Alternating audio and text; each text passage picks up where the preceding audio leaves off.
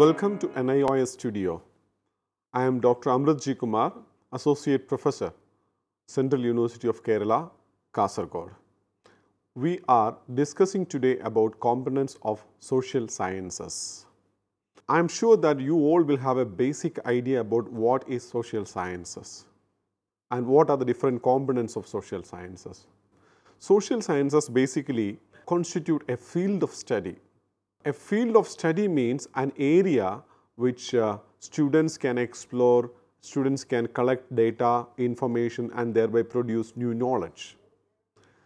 Uh, though the birth of social sciences covers only a short span of time, it has established themselves as an important field of study across other fields of study. And social sciences has got influenced by time, context, challenges, etc. relating to social phenomenon uh, which have made social sciences a field of study as a broad area to be discussed and explored. Now let us consider what are the subjects under social sciences family. So we know that knowledge cannot be fragmented into different discrete subjects as it's a unitary concept. Uh, rather, knowledge can be classified into certain broad fields that with adequate linkage among them. So this linkages is very essential to make a subject a comprehensive whole. A broad field approach can be used for categorizing disciplines under a field of study. So that's very important. We cannot consider all fields as a single subject, but instead we should have a very logical and rational categorizing policy behind categorizing this, considering these different social sciences as a separate subjects. For example, if physical science is a field of study, then subjects that can be considered under it are physics, chemistry and natural sciences etc. A similar field of study can be taught in this way. Now let us look into what is a field of study. A field of study is actually a branch of knowledge in order to be called as a field of study must be fulfill certain conditions. So what I wanted to say is that to be called as a field of study, certain conditions has to be satisfied. Let us look into what are these conditions. First of all, a field of study must include a number of individual subjects. Uh, so it's very clear that a single subject cannot become a field of study. A group of subjects can together form and it can be called as a field of study. Second condition to be considered as a field of study is that there must be a functional relationship and at the same time a difference among the subjects under a field. As I told you, a single subject cannot become a field of study, rather a group of subjects are needed to become a field of study. But when a group of subjects are pulled together under a common heading, uh, there should be certain relationship among field, these subjects at the same time, there should be some differences as well and these differences and relationship both are essential conditions of a field of study. And a third condition we can see that there must be a functional relationships and differences among the different fields also. So, subjects under a field of study should be related and different and at the same time different fields different fields are constituted by different subjects. So, different fields also must have certain uh, relationships and differences at the same time. So, these three conditions are very essential to be called as particular area as a field of study. So, social science actually as a branch of knowledge fulfills all the above three conditions in order to be called as a field of study. That is why we call social science as a field of study. Firstly, social science include a large number of individual subjects. Uh, most of you might be knowing that uh, what are the major subjects which can be called as social sciences. For example, history, geography, political science, economics, law, education, all these are different subjects coming under social sciences. Secondly, there is a functional relationship and differences among all the social science subjects. So, from the example which I told you earlier, history and political science are mutually related. At the same time when they are related, there are differences in the basic area of inquiry, in the basic thrust and focus between history and political science. The same goes with political science and economics, economics and laws, law and education, economics and education with all these subjects. So, there are differences at the same time relationship between these uh, subjects under this particular area of social science. Social science subjects are related with each other because human relationship is a common denominator. So, this major factor that relate uh, different subjects under social sciences is a common factor which is nothing other than human being. A large number of subjects are included in social science family. So, I told you earlier some examples. Uh, some of the social science subjects like political science, economics, philosophy, law, education are very old social science subjects, subjects which comes under social sciences. Whereas, we see some new emerging social sciences like human rights, public administration, social work, all these are new areas of so subjects which are being considered under social sciences. So, still new additions are being made under social science subjects. So, uh, let us look into what are the components of uh, social sciences. The social science subjects may be categorized under the following three main branches. First one is pure social sciences. Examples of pure social sciences are political science, economics, history, jurisprudence, law, sociology, public administration, social work, human rights, anthropology, etc. etc. So, these are purely social sciences which are mainly related with human beings and human affairs. And there are some semi-social sciences, for example, ethics and education, philosophy, psychology, art, etc. These subjects also deal with human being and how human being will behave in a social system and it facilitates the life of human being in a social system.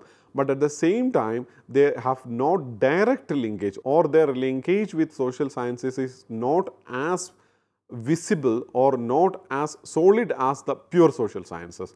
Hence, we call these subjects like ethics, education, philosophy, psychology, art, etc. as semi-social sciences. Now, the third category is sciences with social implications. Examples are geography, biology, medicine, linguistics, library sciences, etc. All these subjects have a great implication for social uh, life, but at the same time they are not directly social sciences. So, we have seen three categories of social sciences. First one is pure social science, semi-social science and sciences with social implication. Now, let us look into instructional components of social sciences at school level. The school level social studies or we call it as social sciences, the school level social studies curriculum selects its contents from large number of social sciences. So, we can call it as an umbrella uh, field. Such selected contents are organized into few subject areas namely history, geography, political science etc. So, all these subjects are being brought under a single heading which we call it as social studies in schools and in general we call them as social sciences. The present social science curriculum of CBSE which is published by a National Council for Educational Research and Training for upper primary school level includes mainly three subject areas. They are history, geography and social and political life. But when it comes to the secondary level, the major areas or subjects which are considered under social sciences of CBSE curriculum are history, geography, political science and economics. When it comes to the sec higher secondary level, large number of social science subjects are included like history, political science, anthropology, sociology, etc. depending upon the uh, preferences of the states, different states and, and, the, and their curriculum. Uh, now, we have to conclude this uh, lecture. So, initially we discussed about what is meant by a field of study. What are the major criterion to be called as a field of study? And then we looked into three major conditions for that has to be satisfied for a particular area to be called as a field of study. And then we discussed about major components of social sciences which we have classified them as pure social sciences, semi-social sciences and sciences which have certain social implications in which we have seen that sciences which have social implications are subjects which are uh, pure sciences like medicine and natural sciences are certain social sciences can be considered as certain social sciences which are because which has certain implications for the human life as well. So, and then later we have discussed about instructional level components such as various subject areas like history, geography, political science and economics. And this we have seen how in India CBSE for which the textbooks are prepared by NCERT has graded different social science subjects into various levels like primary level, secondary level and higher secondary level. In which we have seen that at primary level the selection of uh, subjects in social sciences are very limited like history, geography and so on. And at secondary level when it comes to the secondary level the selection of subjects under social sciences gone little more wider by, by with more choices for the students to discuss about different subjects in social sciences. And when we comes to the higher secondary level, we have seen that subjects like anthropology, subjects like economics and more complicated subjects in social sciences are being considered for discussion. So, this is been arranged because the age level of the student has to match with the contents which are being part of the different subjects in the social sciences. And then finally, we have uh, seen that subjects like anthropology, sociology and wide varieties of subjects according to the preferences of the different state governments are being included into the social sciences curriculum of different states. And also we have to keep note of it that uh, the, the subjects under social sciences are not being listed permanently. Sometimes there are chances that some subjects under social sciences in the course of time will be changed into a different nature. Say for example, history was an area of social science, an important social science subjects. In course of time, the emphasis of history is gradually shifting from history to areas like archaeology and so on. Take the case of political science. Political science was an area under, under social science, a subject under social science. Political science is now getting shifted to areas like international studies and area studies and uh, uh, various uh, uh other fields like uh, marine politics and different kinds of areas.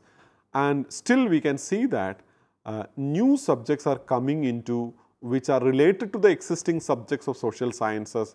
At the same time, subjects which are not directly related to the existing subjects are also getting into the field of social sciences in our modern day. Hence, the contents or the subjects which are under the social science family are always in a state of flux.